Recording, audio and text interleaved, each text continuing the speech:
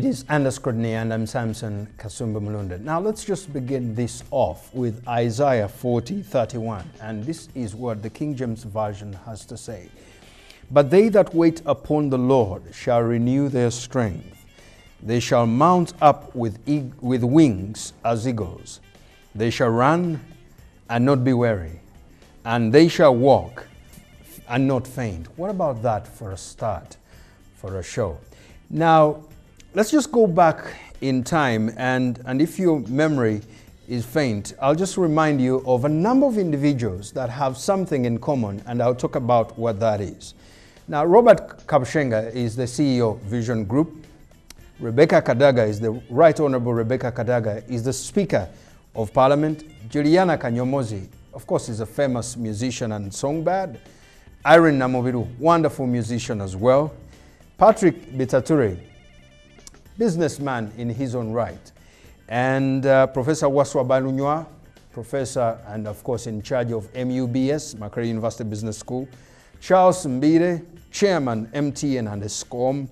Claire Wavamuno, Miriam Matembe, former Minister of Ethics and Integrity. Isaac Musumba, former Minister of State for Regional Affairs. Jen Musokenteafa, playwright and author there. And Justice Faith Mwondha, Justice of the High Court and former IGG. Now, all these people were trained by a gentleman that I am going to introduce, and his name is Father Grimes. Father Grimes was the headmaster, or should I say principal, of Namasagali College. It is a shame we've lost that school, but we haven't lost the brain behind the school. Father, you're welcome to the show. Thank you very much. It's wonderful to have you. Very kind of you. How have you been? Uh, well, I'm beginning to get a little bit old, you know. I'm 83 years old. I had my birthday here uh, in Uganda. Very kindly, uh, the hotel made me a cake for the day, and uh, my stu- former student sent me a beautiful bouquet of flowers, you know. But even so, the gradually the aging process you begin to feel. Everybody says you still look young, but not quite the same. I mean, when I look at you and you're talking of 83, it makes me feel like I'm still very young and still got a lot to go at 40. That means I got some very good 43 years in me. What were you doing at 40, if I may ask? I, I was already headmaster of Namasagali Valley. Okay. I became headmaster in 1967, Okay. And how old you, were you when you became headmaster? 38, I think. 38. Okay. 38 years. Or thir- 36, sorry, so 36. Okay. yes. Whose idea was it to make you headmaster of Namasagali College? It was a rather complicated affair, actually. Uh, to go into a lot of detail about it would be uh, take too long. But what happened was uh, Basoga decided they want, wanted a, another secondary school, and uh, they had just bought the site of Namasagali from the railway, who had abandoned the site. And um, Rumor has it it was a train station, was it? Oh yeah, it was a train station and a port, a river port. You got the railway from Jinja, and then the, that you changed onto the boats which went up to Lake Kyoga. You see. So, so the railway had abandoned the place, and then Busoga wanted a school. Well, uh, not immediately. The, one of the first ideas was to turn it into a prison, I believe. And then Mr. William Wilberforce Nadiope was going to make it his private fishing section. But eventually, after a lot of political um ins and outs in Busoga, they decided to turn it into a school. And this is 1960. Uh, six, well, it'll be 66 when they moved to Namasagali, I think. 67, 67. They started in a small building in uh, Kamuli in about 65. And there was, you see, what had happened was Mr. Mwangu, who was the Katukibo or Katikiro of Busoga at the time, asked the bishop for a priest as a headmaster. And that was Father Neville, Father Patrick Neville. Why, why did he particularly ask for a priest as a headmaster? Well, I think I think they were just looking around for somebody who was who was available, you know, to uh, to to look after to start the school. You see, because they were in financial difficulties by that time. They'd already had two schools of their own. You see, one Yange and uh, and um, uh, Bukwenge, I think those two. And then the ministry had taken those over, so then they wanted to have one of their own again. You see, so I think they were just. And Mr. Mwangu was a friend of Bishop Billington, so I think it was just a personal thing. But then what happened was uh, Father Neville got ill and had to leave. I, in the meantime, had been at Namilyango for the last seven years, you see. As, as a teacher? Uh, yes, well, I was, by the time, that time I was acting deputy because uh, the, the deputy headmaster, Father Bone, was already ailing, you know, so uh, in, fa- in, in practice I was the deputy headmaster of Namilyango. So at what age did you become deputy headmaster in Namlo- um, Again, 30. Well, um, yeah, I was 28 when I went to Namilyango, and I was there for seven years, so I was about, about 30, mid 30s, you know. And while I was there, of course, I used to appear in television programs, topic topic for today, things like that, and uh, I also used, used to do extramural classes for Makerere and you know, uh, all sorts of things like that. It's fairly a young age for you to be deputy master. Did they trust young people that much then? Uh, well, again, it just happened.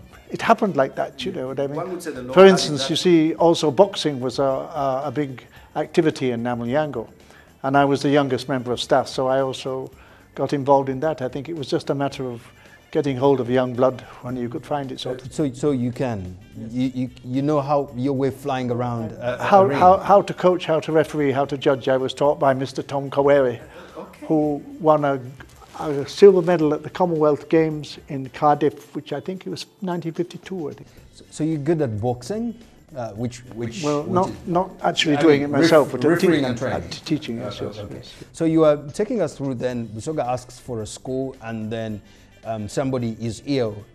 In comes um, Father Grant. Yes, well, they came to Namilyango then and asked for another headmaster to replace Father Neville.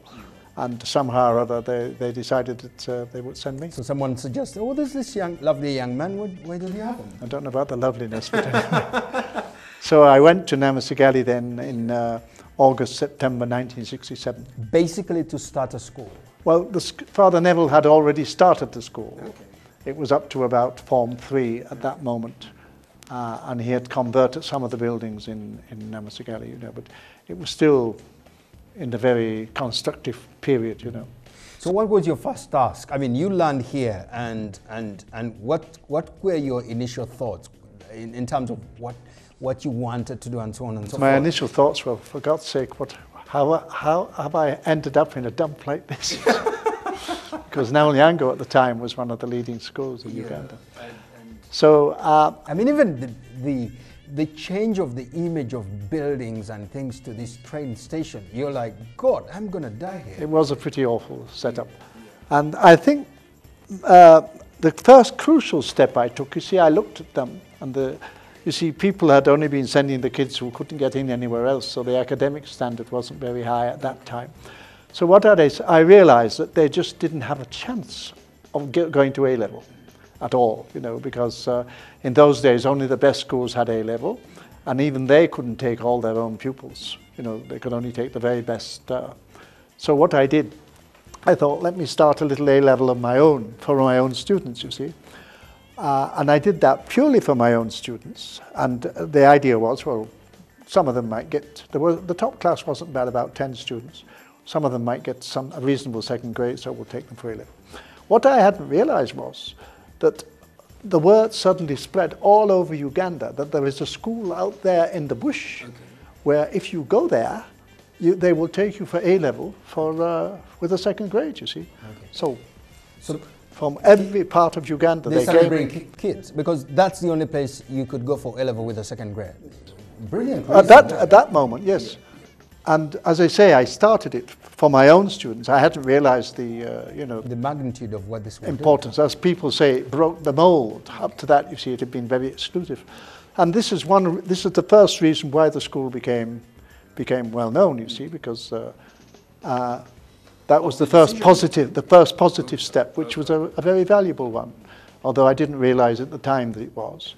And then, secondly, of course, some of my boxes came from uh, co- came The, the, yeah, the guys you used to coach, who, who love their coach, that is. So they, some of them came for A level, but in the meantime, they also continued with their boxing, you see. So suddenly, I think in 71 or 72, I can't remember, I got an award as the best headmaster of the year in view of academic and sporting things, you see. Okay. Which Now all, that- all helped in propaganda terms. So that uh, popularized the school as well. yes, I think. At what point did you start to to de- redesign a culture for the school that became a famous part of, of the college? Well, I, I didn't re- really redesign. I just sort of started working, you know, as I, as I saw it at the time. In fact, one of the things I have to say is, a lot of the things that happened, I never really explicitly planned. It sort of grew out of what I was doing, you see. My attitude was, you see, I'd been to a Jesuit school when I was a schoolboy. And uh, their idea was This very is- much yeah. activities, you know, all sorts of activities. I'm sorry to interrupt you here. Yes. We, we've got to take a break here, um, commercial break. Um, let's take that break, and when we come back, we, we, we touch on that conversation. I'm talking to Father Grimes, um, one of the key figures, I think the key figure, the figure of Namasagali College, and he's talking to us about Namasagali College, the culture there, the education. I mean, this is an exclusive if you like. Let's take this break and when we come back, more Father Grimes.